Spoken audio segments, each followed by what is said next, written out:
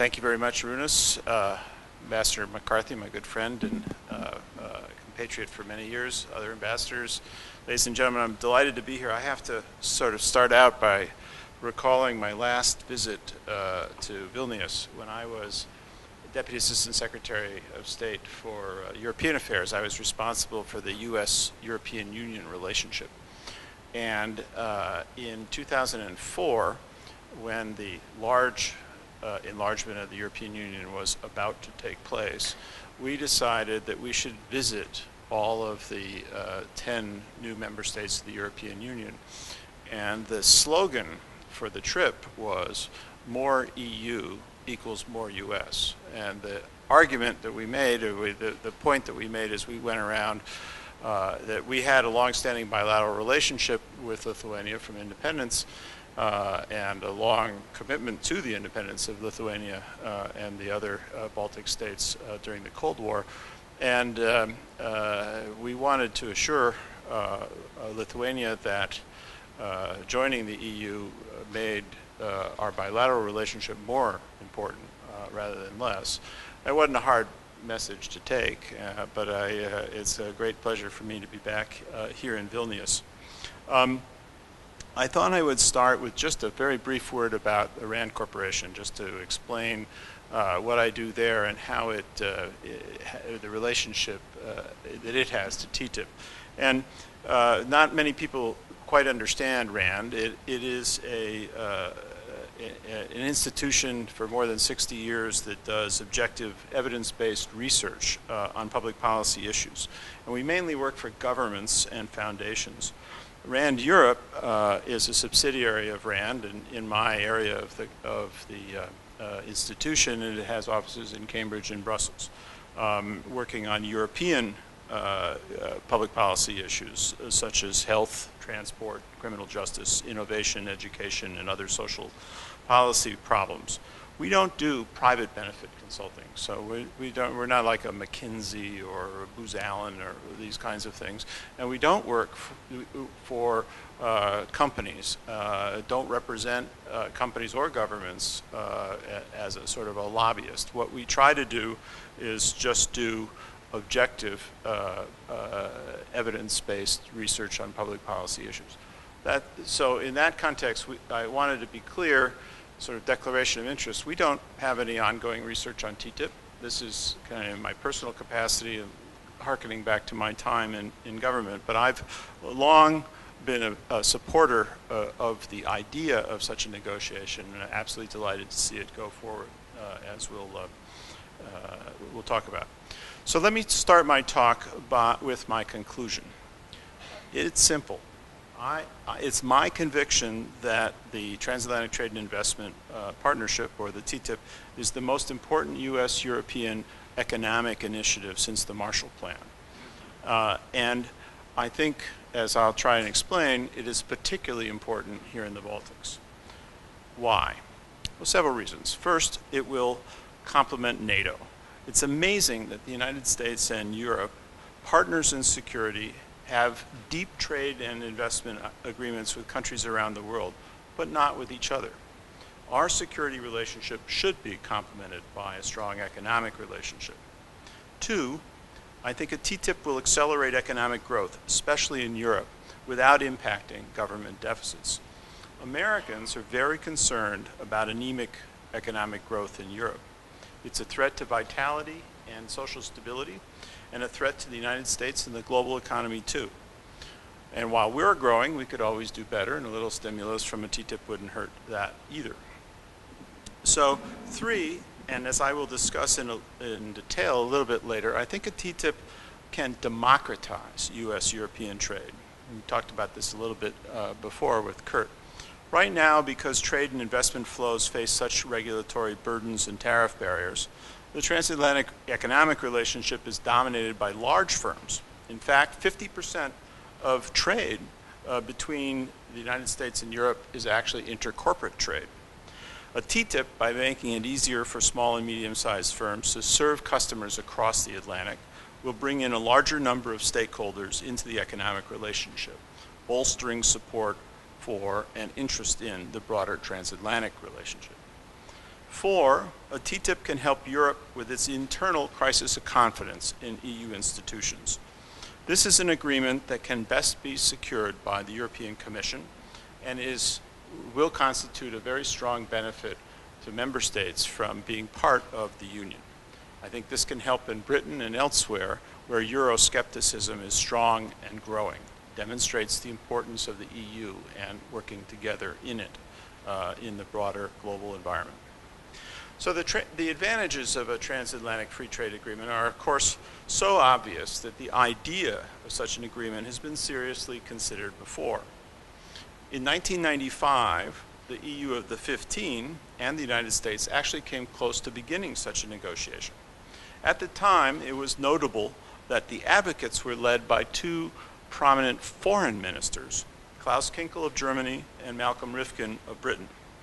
Kinkel and Rifkind uh, understood that after the fall of the wall, transatlantic free trade would be a natural counterpart to the outward expansion of the EU and NATO. Unfortunately, trade policy concerns doomed the 1995 effort. It was too close to the 1994 creation of the World Trade Organization. The US and Europe were both interested in keeping the rest of the world engaged in trade liberalization, and some sectors like agriculture were just absorbing the subsidy cuts and other market changes that came with the Uruguay round. A transatlantic free trade agreement in the 1990s seemed to be too much more trade liberalization too soon. In the intervening 20 years, however, a lot has changed. Our agriculture sectors have become stronger and more export oriented. Over a decade of our effort still didn't convince big emerging markets to lower their trade barriers in the WTO, but you can't say that we didn't try. China and Russia joined the WTO, but both have not exactly embraced its rules. In the same period of time, we negotiated uh, free trade agreements with many Latin American countries, Korea, Australia, Singapore, and began talks on a broader trans-Pacific partnership with other countries in Asia, notably including Japan. The EU, uh, for its part, has negotiated trade agreements with many of its neighbors, famously enough, including Ukraine, and with Canada and Mexico too. And the global recession in 2008 2009 made it clear that uh, the stimulus and growth from trade liberalization could be really very helpful. So, why not uh, uh look at a, a transatlantic uh, economic partnership of the kind that we are doing. And so at Germany's urging, the US and the, uh, and the EU in 2011 began a trade liberalizing effort, a new trade liberalizing effort, but with very careful preparation. A high-level working group spent over a year examining the economics and the politics, publishing their full report to the leaders at the end of 2012. President Obama committed to the negotiation in his 2013 State of the Union speech, and by summer, the European Union's Council similarly agreed to go forward and adopted a formal mandate to begin the negotiation of a TTIP. And as we learned this morning, the negotiators have been hard at work uh, since the summer of 2013 and may complete their work in 2015. So what would a TTIP look like? The short, short answer is that it would have to be a modern trade and investment agreement, much like the EU itself has become uh, over the years since the Treaty of Rome. This means that a TTIP uh, would need to eliminate all or nearly all tariffs on goods traded across the Atlantic. And while tariff uh, levels are not high now, the trade weighted average of under 5%, these taxes on imports burden exporters are the cause themselves of red tape and on some products, such as uh, textiles, apparel, and footwear, U.S. tariffs are actually quite high. A TTIP would also contain rules on regulatory barriers to trade that might uh, many consider to be the most serious barriers. Uh, the US and the EU both have high levels of protection of health and safety, including food safety, but idiosyncratic differences in how we do it unnecessarily restrict trade. The agreement would set rules on how uh, future regulations would be made more compatible and transparent and would include an early harvest of harmonized regulations, like on automobiles that could go into effect with the adoption of the TTIP. A TTIP would also include obligations for fair and equal treatment of U.S. investors in the EU and EU investors into the U.S. TTIP would remove many, if not most, obstacles to companies offering services across the Atlantic or establishing service-related businesses. A quirk of our regulatory regime means that uh, exports of U.S. origin LNG would get automatic approval from the U.S. government, as, uh, as Kurt mentioned as well. And that would help uh, with uh, supplies to uh, uh, Lithuania's new floating LNG regasification terminal. Uh, and TTIP would also substantially expand opportunities for companies based on the other side of the Atlantic to provide goods and services to governments on an equal footing with local uh, firms. So it's a big deal. The IFO Institute, in a uh, study commissioned by the Bertelsmann Foundation, found, in fact, that real per, uh, uh, income per capita in the EU should increase by about 5% with the implementation of a TTIP. And this is a quote from the Bertelsmann release. It, they said, quote, EU member states that would profit more than average uh, from a far-reaching liberalization of trade include the small export-oriented economies such as the Baltic states. The Center for the uh, Economic Policy Research in London estimated that a TTIP would boost EU production by 119 billion euros, and better yet, put 500 an average of 545 more euros a year in the pocket of every European. And all that without aggravating government deficits. So if it's such an important groundbreaking agreement that will benefit both sides, why isn't it done already? Why is anyone ever worried about it? Well, any enterprise of this scale, as with any enterprise of this scale, it takes time to work through all the issues and build consensus among the many interest groups concerned. The negotiators have been careful to consult with civil society, farmers, and businessmen, and as they work through the complexities of fashioning an agreement with so many specific provisions. So in that context, uh, there are a number of issues that have been raised here in Europe that I'd like to take on uh, directly because I think they, in many respects, reflect misconceptions and anxieties rather than economic or political analysis. So let me start with transparency. Uh, some civil society groups are criticizing the, the negotiations as purportedly secretive and call for the negotiating text to be published for all to see and comment on. Actually, this is the most transparent trade and investment uh, uh, negotiating process in history. As I mentioned earlier, the high-level working group deliberated for over a year on the merits of TTIP and consulted widely and published their conclusions and recommendations for all to see. Uh, as Kurt said, the chief negotiators uh, meet uh, before, during, and after every uh, negotiating session with the uh, stakeholders. And when it's all done, and I think this is the most important thing to remember, when it's all done, the full text of the agreement, all the annexes, all the understandings and protocols of the agreement itself will be public and, uh, and, and, fully available for everyone to look at, analyze, and conclude, make their own conclusions as to whether this is in the interests of, uh, of one side or the other. And nothing takes effect until it is approved by uh, the European Parliament and the U.S. Congress um, uh, with, with a full debate. And the best way to judge a trade agreement is as a whole. When I was a negotiator on our NAFTA negotiating team, the U.S. Mexico Canada agreement. Uh, I remember at one point complaining to one of my fellow negotiators about how come all we hear is criticism of the NAFTA. No one actually stands up for it. Uh, and uh, my colleague, who was older and wiser than I at the time, told me the cardinal rule of trade talks, which is that no one supports a negotiation until it's done. And it makes sense if you think about it. Even if someone expects to gain, uh, the, they keep the pressure on until the deal is completed. Since the stakeholders know that, uh, that they might get still better benefits uh, in the agreement, and they worry about if they let up the pressure on the negotiators, maybe their sector get traded off for somebody else. But when judged as a whole, I think that the uh, the TTIP will be uh, seen as benefiting both the EU and the United States, or it won't get done. So the cry transparency uh, as an argument is mainly used by people who are against the very idea of a TTIP and want access to the negotiating proposals to kill it now or to use to kill it later, since in a negotiation no one ever gets uh, all that they ask for. So you may have also heard some uh, uh, groups raising concern uh, about uh, investor-state dispute settlement, which we talked about this morning.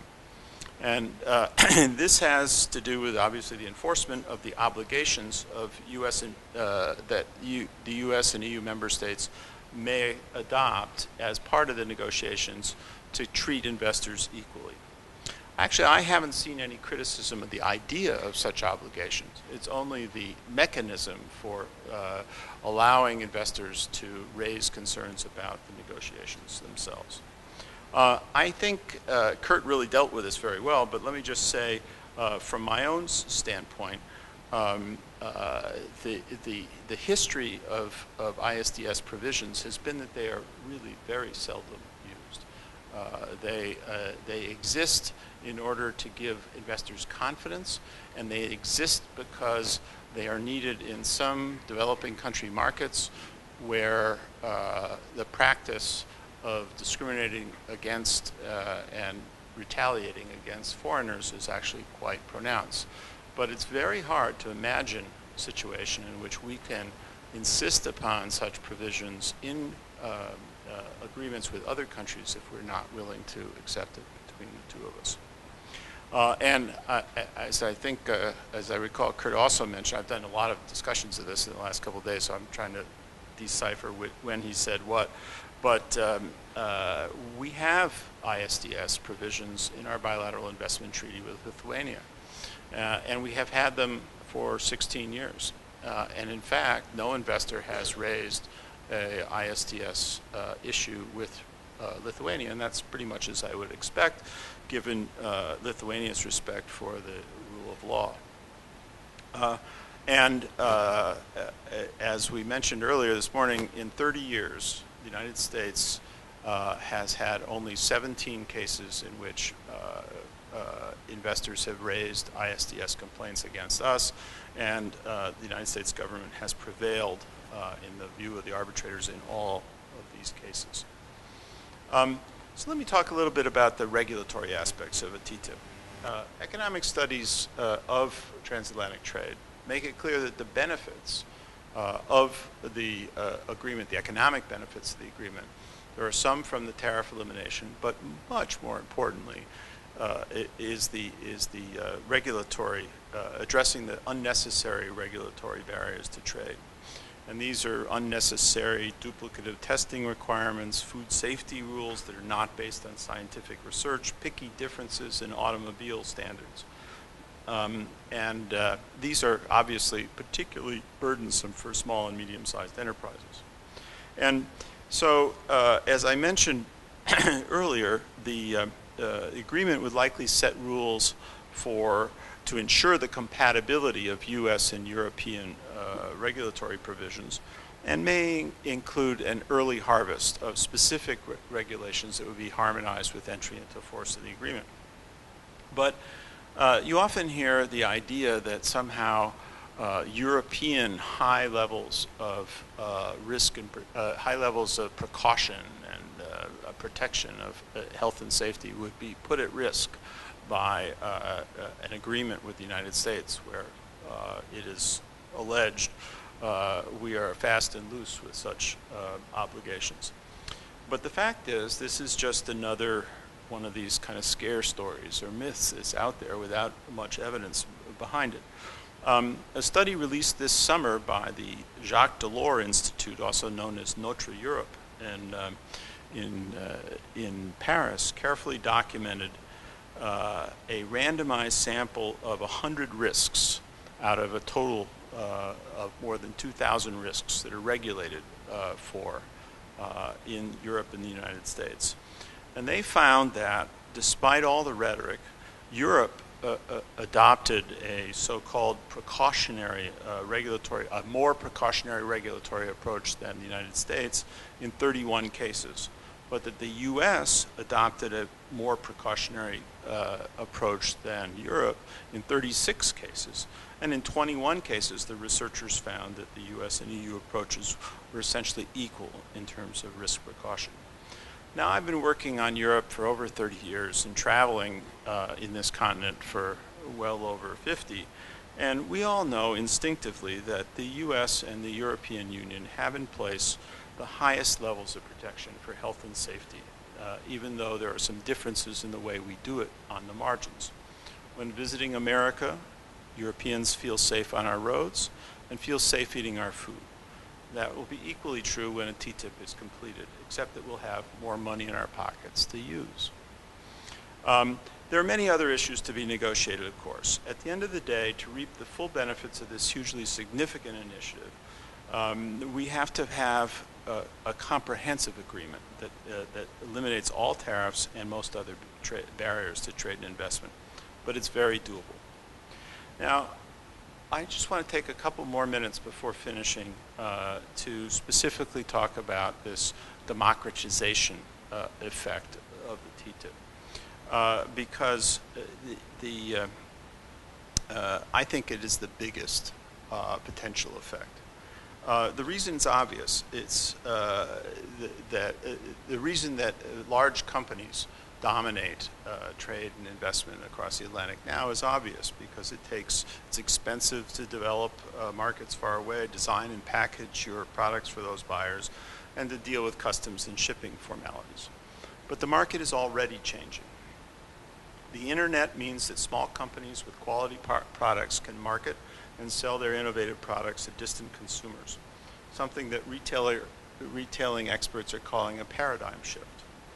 And if, as a result of the TTIP, regulatory tariff and paperwork burdens can fall away, small companies on both sides of the Atlantic can benefit greatly.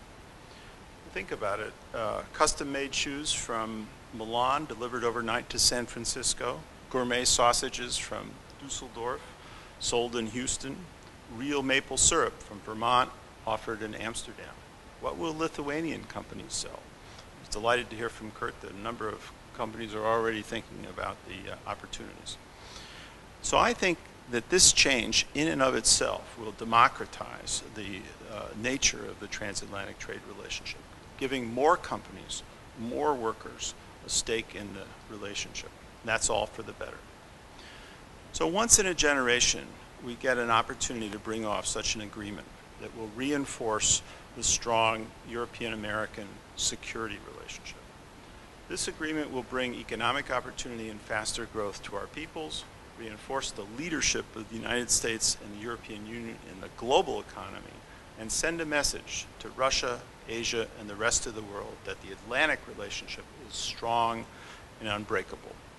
Or, as former Supreme Allied Commander Jim Stavridis argued just last week, and I quote, a negotiated and eventually ratified TTIP would be a powerful signal to Putin's Russia that Europe and the United States stand together in all dimensions, values, politics, security, and trade. And if Putin hates it, a TTIP probably makes sense. Close quote. So these are all the reasons why Lithuanians and other Baltics should really strongly support a TTIP agreement and push for its early adoption. So with that, I'm, I'll finish and take questions.